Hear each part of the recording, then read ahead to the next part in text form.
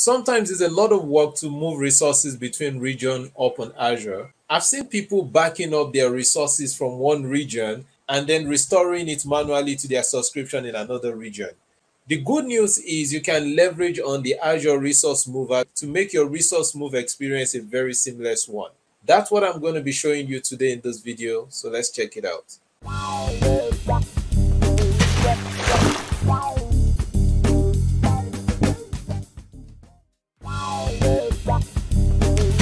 So for the purpose of this demo, I've created a resource group called R-Mover, as you can see here.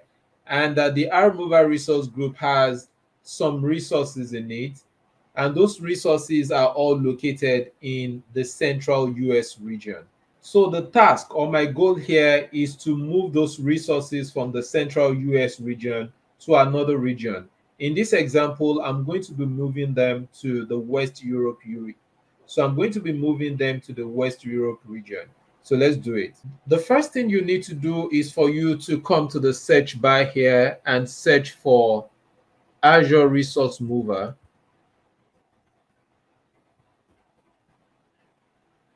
As you can see here, we're able to use the Azure Resource Mover to do a couple of things, uh, such as move resources to another subscription. We can use it to move resources to another resource group and we can also use it to move resources to another region. So, which is what we're trying to do now. So I'll click on this option. So I'm going to select my subscription and also select the region where I currently have my resources located, which is Central US.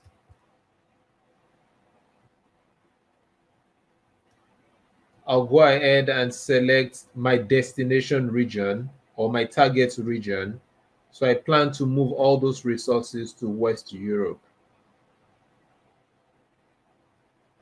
I'll click next.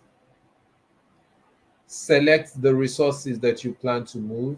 So, but one cool thing about the Azure Resource Mover is that it can help you take care of dependencies if you need to move those also, so that you don't have to worry about having to move those dependencies manually.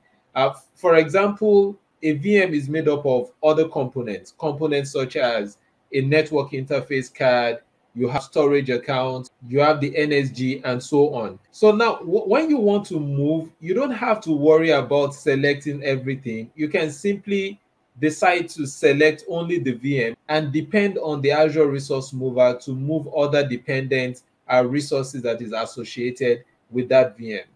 So in this case, I plan to move two of my VMs here. So I'm going to select just the VM. So we can also check out how the Azure Resource Mover can help us with dependencies.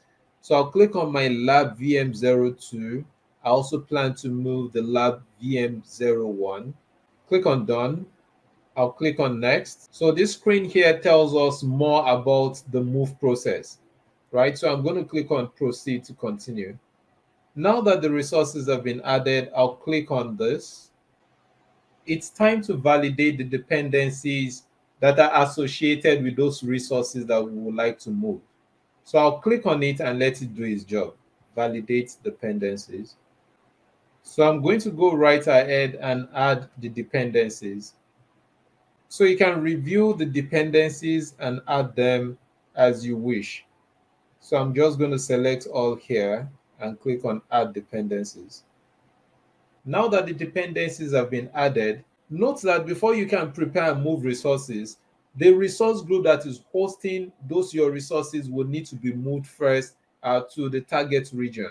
That is, you will need to move the source resource group to the target region first before you can start to move, uh, let's say, your VM and other resources or your other workloads. So here is my resource group. R-Mover. So I'm going to select that resource group first, prepare the resource group for the move operation. All right, so the prepare operation succeeded. So I'm going to go right ahead and initiate a move for the resource group. Always remember to click the commit move if your intention is to actually perform the move operation and you're not trying to test things out. So if you're testing things out and you don't commit, then the operation will not be moved. Now that we've moved our resource group, we can now start preparing to move other resources. Uh, in this case, I plan to move my VM and the associated resources. So I can select my VM here. How about I select everything? And I'm going to click on prepare once again so that this step can prepare the resources that we want to move once again. Keep in mind that this can take longer depending on the type of resources that you're trying to move. If, for example, you're trying to move a SQL server with a big amount of data in it, you expect that to take more time. All right, so the next step is for us to now initiate the move.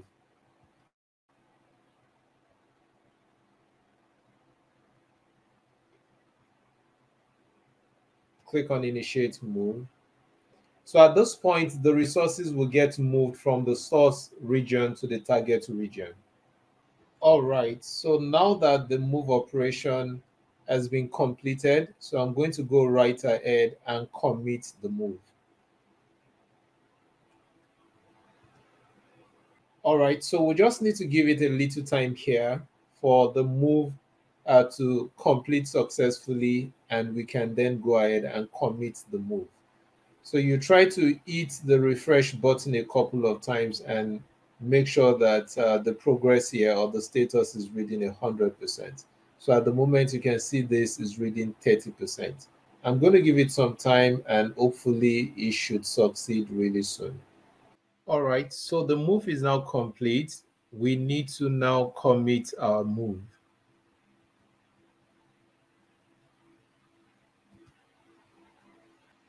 Oh, we're having an error here. So let's see what the problem is. So if I click to see more details, okay, so uh, it's telling us that uh, the virtual machine uh, in the state of move pending. So for some reasons, uh, we're yet to perform a move on the VM. The other resources have been moved, so those ones are waiting to just be committed. But in the case of the two VM, they are still pending move. So, so as you can see here, possible cost is to be able to execute the commit operation, the resources should be in a state of commit pending, meaning the move operation should be completed first before we can complete a move. So let, let's go back and uh, perform a move operation on the two VMs. All right, so just as we can see here, we can see we've success, successfully moved and completed uh, the resource group, and that is waiting to be deleted, right? Delete source pending. Um, in the case of the other associated resources of the VM, like uh, the network interface card, so it's just waiting to be committed. Commit move is pending. But for the two VMs, uh, initiate move is pending. So I'm going to select the two VM and go ahead and initiate move. As you can see, the move operation has now succeeded. We can now go ahead, select all the resources and hit commit move.